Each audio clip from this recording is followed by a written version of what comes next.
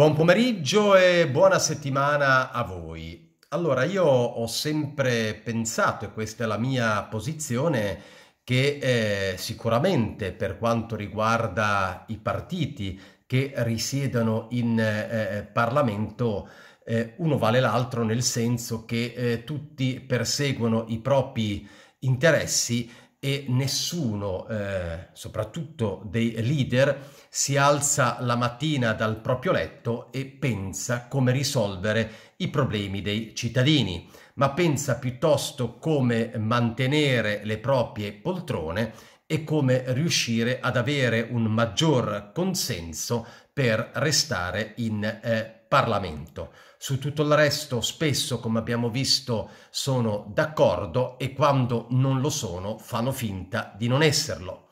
Diversa invece è il fatto della cultura. Ci sono due mondi che sono sicuramente molto diversi, che possiamo anche identificare da un lato con il mondo della sinistra dei comunisti e dall'altro il mondo della destra. E la cultura, lo abbiamo detto, quale importanza riveste nella crescita, nella formazione in particolare dei giovani, dei nostri figli.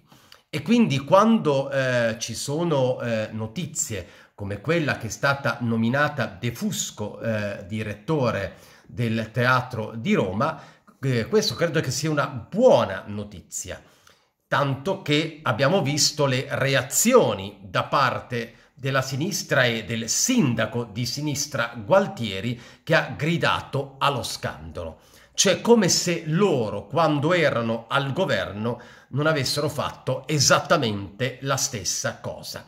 Perché è risaputo, è normale che quando tu governi cerchi di mettere nei posti che contano, eh, nelle università, eh, nelle eh, società ehm, statali eh, e appunto anche per quanto riguarda la cultura i tuoi uomini. Ed è ridicola la posizione di Gualtieri e anche di tutti quegli attori di sinistra che gridano allo scandalo e eh, accusano il centrodestra di eh, voler in questa maniera politicizzare tutto eh, invece di guardare alle capacità guardare a quella che è l'esperienza dei soggetti, mette i propri, i propri uomini. Ripeto, esattamente quello che, sempre, eh, eh, quello che sempre ha fatto la sinistra quando era al potere.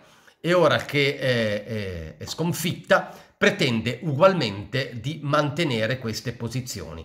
E qui devo spezzare una lancia a favore del, eh, di Giorgia Meloni che almeno per quanto riguarda il mondo culturale, per quanto riguarda la scuola, per quanto riguarda appunto eh, teatri e quant'altro, piano piano sta cercando di mettere eh, uomini del, eh, vicino a quell'area, a quella cultura e mandare a casa quelli che finora l'hanno fatta da padrona, da padroni. Io credo che sia un fatto importante perché, ripeto, questo eh, permetterà di avere un approccio diverso, questo permetterà eh, di far sì che non ci sia un monopolio culturale come è stato negli ultimi anni, negli ultimi 20-30 anni, da parte della sinistra.